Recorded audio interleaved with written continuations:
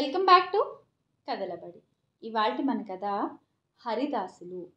పూర్వం ఒక హరిదాసు గారు ఉండేవారు. ఆయన ఒక మద్దెలు వాయించేవాడిని ఫిడేలు వాయించేవాడిని జట్టుగా వెంటబెట్టుకుని ఊరు ఊరా హరికథలు చెప్పేవాడు. ఒక గ్రామం వెళ్ళి అక్కడ ఊరి పెద్దలందరితోటి తాము వచ్చిన సంగతి చెప్పేటప్పటికీ వాళ్ళంతా ఉత్సాహంతో ఆ దాసుగారి చేత వరుసగా నలభై రాత్రిళ్ళు సంపూర్ణ రామాయణం చెప్పించేటందుకు ఏర్పాటు చేశారు. అయితే హరిదాసుకి ఆ వాయిద్యగాళ్ళకి ఆ నలభై రోజులు భోజనం ఎవరు పెట్టడం అనే ప్రశ్న వచ్చింది. హరికథలంటే చెవులు కోసుకునే పేరంబొట్లు గారు చటుక్కును లేచి ఇది పెద్ద ఆలోచన. నేను ఊళ్ళో ఉండగా దాసులు ముగ్గురు మరో ఇంట విస్తరి వేయడానికి ఎంత మాత్రమూ వీల్లేదు అని నిక్కచ్చిగా చెప్పేశాడు. ఆయన హరిదాసులంటే చూపిన గౌరవానికి ఊళ్ళో వాళ్ళంతా మెచ్చుకున్నారు. దాసులు కూడా సంతోషించారు.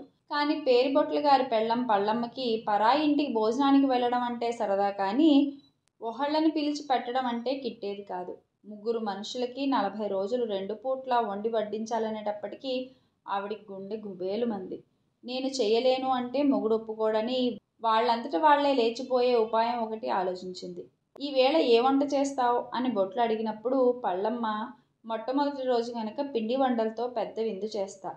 చక్క గోధుమ పిండి చక్కెర నెయ్యి పట్టుకురండి అంది. బొట్లు అనుకూల దాంపత్యం అంటే ఇలా ఉండాలని సరుకులన్నీ పట్టుకొచ్చాడు.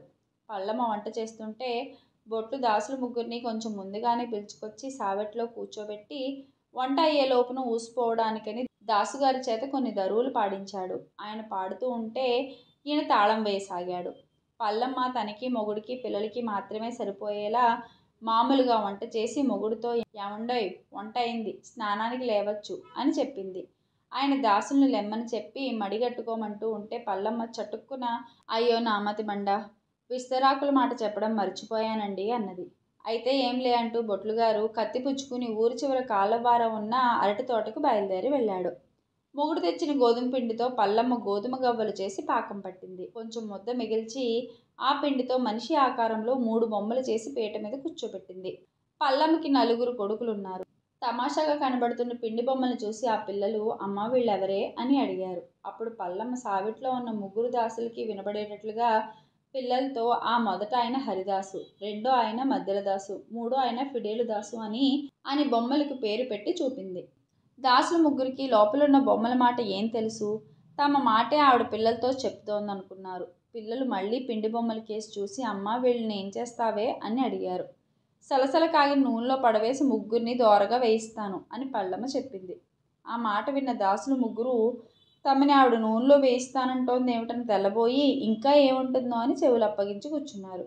వేయించిన తర్వాత ముగ్గురిని పాకం పట్టి మీకు పెడతాను అని మళ్ళీ దాసులు వినపడేటట్లు పిల్లలతో చెప్పింది. పెద్ద పిల్లవాడు మొదటి బొమ్మను చూపిస్తూ అమ్మ నేను ఆ హరిదాసం తింటానే అన్నాడు. రెండోవాడు రెండో బొమ్మను చూపెడుతూ నేను మద్దలదాసం తింటానే అన్నాడు. మూడోవాడు అయితే నేను పిడేలు దాసం తినేస్తానే అని అరిచాడు. ఈ మాటలు వింటున్న దాసులకి ఆ పిల్లలు తమను తినేస్తారేమో అని బెదిరి పుట్టింది వీళ్ళు రాక్షసులు కాదు కదా అని భయం కలిగింది. ఇంతట్లో పల్లమ్మ గారు నాలుగో కుర్రాడు అమ్మాయి దాసను అన్నయ్యలకి ఇవ్వద్దే ముగ్గురిని నేనే మింగేస్తానే అంటూ మారం చేశాడు. దానితో సావిట్లో ఉన్న దాసులకి అనుమానం తీరిపోయింది.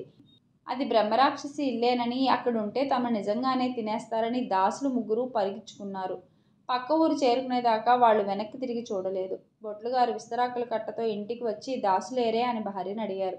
ఏమీ ఎరగని దానికి మళ్ళీ ఆవిడ ఏం సావిట్లో లేరా అని ఎదురు ప్రశ్న వేసింది. వాళ్ళు బయటికి వెళ్ళి ఉంటారని వస్తారని బొట్లు చాలాసేపు కనిపెట్టుకుని చూశారు. వాళ్ళు ఎప్పటికీ రాకపోవడం వల్ల ఆఖరికి తన భోజనానికి లేచాడు.